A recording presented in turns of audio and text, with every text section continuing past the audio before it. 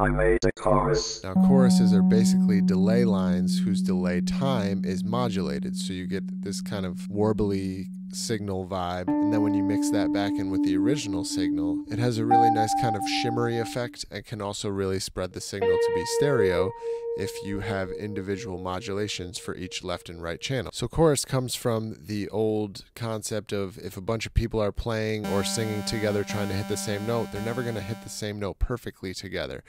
Some are going to be a little sharp, some are going to be a little flat, and you're going to have this kind of summation of the average of each individual frequency, and that becomes what we hear as the note.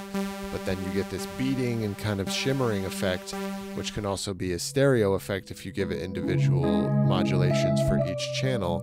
Now you're going to have obviously the rate control, depth, phase for each side of the LFOs, and then the mult effect, which is a pretty cool thing that can increase the ratio of the speed, but it also is going to affect the left and right channels individually, so you just get maximum stereo independence. Shout out to the HISE forums for helping me out. The new chorus effect is available now in all Dane Zone keyboards, available at packs.dane.zone.